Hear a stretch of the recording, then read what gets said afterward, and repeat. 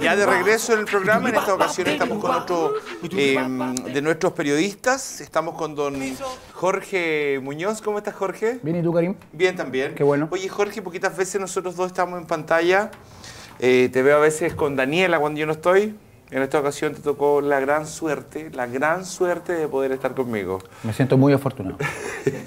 Jorge, ayer eh, fue un día periodísticamente bastante Activo. activo. Fue un día en que no esperábamos nada de lo que pasó finalmente. Bueno, estaba Beatriz Sánchez, justo estaba en nuestro canal en ese momento dando una entrevista, estaba Mariana Elwin, cuando de repente llaman que habían apuñalado al senador Fulvio Rossi. Esa fue la primera alarma y la primera información que tuvimos. Claro, una- un suceso que causó conmoción. Yo estaba, Conmoción estaba total. justo con Mariana, con Mariana Elwin y ella mandando WhatsApp de una. Y estaba con Beatriz Rossi. Sánchez. Creo que ellos fueron compañeros en la Comisión de Educación, por eso tienen como un vínculo. Estaba súper preocupada.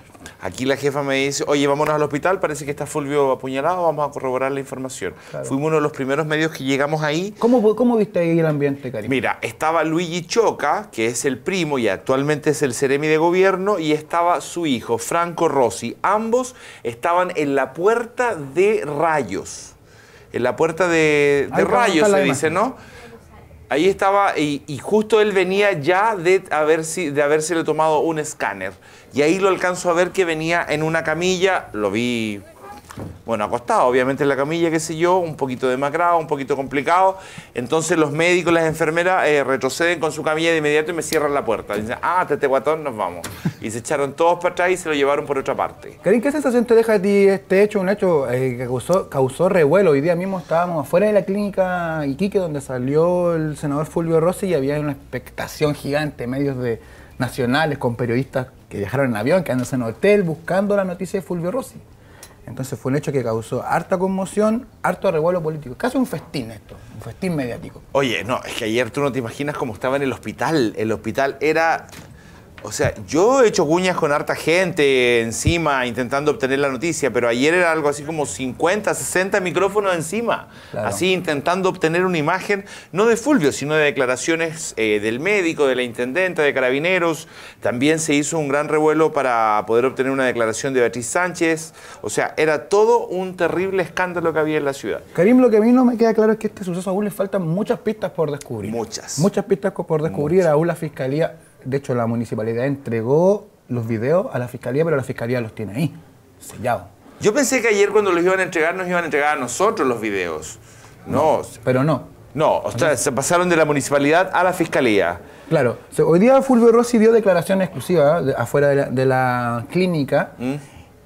y hay varios temas que me quedan un poco pendientes. No hay testigos del hecho, no hay, aún no sabemos las cámaras de seguridad que grabaron. Ah, y tenemos acá las declaraciones, están fresquitas, Ya. recién llegan. Ya, escuchamos. Ahí está la clínica de Iquique, la expectación de los medios, como te comentaba recién, gente de Santiago. Yo pensé que no había nadie, pero había, había varios brigadistas que trabajan conmigo que ingresaron, parece ser, a los pocos minutos a, a la casa. Yo cuando escucho que ingresan, yo estaba en el piso, había perdido el conocimiento. Muy poco, un minuto habré perdido el conocimiento por, por la hora. Eh, y, digo, ¿quién, es- ¿quién está ahí? Y justo estaban, eran dos, tres eh, brigadistas. Y le dije, llamen a la, a la ambulancia. Me dijo uno, mira, está, acá tenemos un auto. Y me trajeron, eh, me llevaron al, al hospital regional. Sufrí una herida cortopunzante abdominal y un TEC cerrado. Y la razón por la cual, que es la razón por la cual el doctor Donoso del hospital le recomendó y llamó al doctor Raúl Romero que estuviera 24 horas en observación para hacer un nuevo escáner el día de hoy. Eh, por los mareos, por la pérdida de conocimiento, naturalmente, es lo que se hace. Toda la información de lo que hice ese día y lo que no hice ese día, el día de ayer, se la entregué a- al Ministerio Público, a la Policía de Investigaciones, en reiteradas ocasiones, a Carabineros de Chile, y es parte de la investigación. eh, y no quiero contribuir a, a que se generen confusiones en ese sentido. Y así lo establece el parte médico, son un par de heridas cortopunzantes abdominales. ¿Son profundas Eh, heridas? ¿Tú- tú- lo que me dijeron, punto? siete, siete, eh, 7, milímetros eh, no fueron penetrantes, afortunadamente.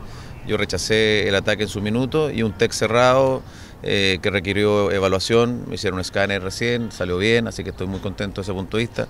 Yo, esos antecedentes yo no quiero contribuir a generar ningún tipo de estigma, pero efectivamente una persona de raza negra eh, y tenía acento extranjero. Los antecedentes también los entregué al Ministerio Público, a la Fiscalía. Mire, de Gutiérrez, yo hace tiempo que no hablo, no pierdo mi tiempo. Yo los antecedentes que leí a la Fiscalía era que era una persona colombiana. Eh, eso, eso tendrá que determinarlo la, la, investigación que lleva adelante la policía, no sé, en fin. Las declaraciones de Fulvio Rossi saliendo de la clínica eh, Iquique hoy día en la mañana, 9.30 de la mañana, puntual como siempre, Fulvio Rossi refiriéndose a lo que pasó. Oye, sí, a ver, tenemos que aclarar que las primeras imágenes que estábamos mostrando cuando estábamos con Jorge recién entrando en esta conversación son cuando él iba saliendo del hospital regional de Iquique hacia la clínica Iquique. O sea, él ha estado en dos centros asistenciales. En el momento de la emergencia se le llevó al hospital público y luego él se va a una clínica privada. Argumentando que es para un reposo. Argumentando que es para un reposo. Claro, ahora tú me decías, ¿por qué alguien se va a ir del hospital a una clínica? Yo creo que es lo normal de alguien que tiene el dinero, ¿no? Claro. Porque ahí hay más servicio de hotelería y más cosas, o sea, más allá del tema médico en sí. Eh, y lo que sí ahora estoy escuchando en la entrevista, porque Jorge acaba de llegar, acaba de llegar de esta entrevista con, con Fulvio ahí en la clínica Iquique, primero que está de pie. Yo pensé que iba a estar acostado. Se ve entero, Fulvio Rossi se ve entero. Y ahora, bueno, eh, felizmente no fue más que 7 milímetros. 7 milímetros de, de, la herida. Como así más o menos. Menos. O sea, bueno, afortunadamente no, no, pasó a mayores. Claro. Lo que me llama la atención es eh, lo que Hugo Gutiérrez dijo, poco sucedió este evento donde no, dijo que no le creía nada, que para él es una autoherida, una auto, autoinfligió la herida Fulvio Rossi. ¿Qué crees tú, Karim? mira, o sea, yo no puedo decir nada, pero en lo personal, yo así tuviera que ganar el Grammy y el Oscar, no, soy no sería capaz de cortarme nada, prefiero perderlo. prefiero perder, que no, ya que gane este otro, no sé, pero no, no lo haría, a mí me daría miedo. A mí lo que me deja duda es que se hizo a tres días de las elecciones, algo como esto. ¿Tú crees que hay eh, situaciones que aclarar todavía fuertes? Muchas, muchas situaciones que aclarar. Muchas, sobre todo los testigos, los testimonios de la gente, de, la, que, la gente que está ahí, los vecinos, que quizá tienen mucho que decir.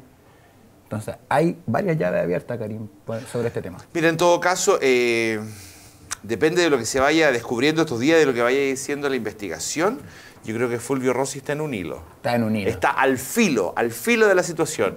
si todo es cierto, se le comprueba que es real y todo, yo creo que Fulvio gana. Claro. Pero si le comprueba ahí que está mal, Fulvio pierde. Y todos los políticos que fueron al hospital a verlo, imagínate si. Oye, si ayer llegó la Luce Bensperger, llegó la Mila Chávez, llegó la Beatriz Sánchez, llegó la Mariana Elwin, estaba la intendenta. ¿Quién? ¿Ah? Sí, porque es un tema de una campaña limpia. Claro, Soria no llegó. Claro, lo que a mí me deja como reflexión este, este hecho eh, el tono que están teniendo las campañas políticas ahora último, Karim. O sea, con violencia, con palabras fuertes cruzadas entre candidatos. Y creo que se ha perdido un poco la esencia de la buena política para mí. Hechos como estos, hechos como los de Piñera o el mismo Soria ayer en la radio Paulina. Uy, ayer Soria, qué manera de hablar. Eh, fuerte, descontrolado en la radio Paulina. Y por la razón de una pregunta, o sea, se enojó porque no le dieron tiempo para hablar sobre los corredores bioceánicos. Bueno, pero que Soria siempre habla, de lo mismo, ¿no? Claro. Habla de lo mismo, una persona que tiene algunos problemas de control de la ira. Claro. Entonces es preocupante cómo se están manejando las campañas a tres, dos días de las elecciones. Oye, y ya no queda nada, o sea, estamos a jueves 16 y la elección es domingo 19. Ojalá lo único que la gente vaya a votar. Mira, ahí va Fulvio saliendo. Del hospital. Del hospital, ahí está el Luis y el Michel Carte. El Michel Carte estaba pero destrozado. eh, ¿Ah? hoy día estaba Luis. Ah, y hoy día estaba Luis y también cita a todo el mundo. Estabas como escondido atrás de un auto mirando qué le pasaba a Fulvio Rossi. Claro, y ojo que también se le preguntó a Fulvio Rossi por el recado que le mandó la presidenta Michelle Bachelet, que incluso la mandataria se refirió a lo que pasó con Fulvio Rossi.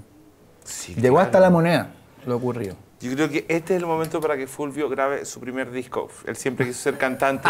Estaría top one, top one. Está ahí, destruye, destruye a Justin Bieber. ya, ¿nos vamos? Nos vamos, Karim.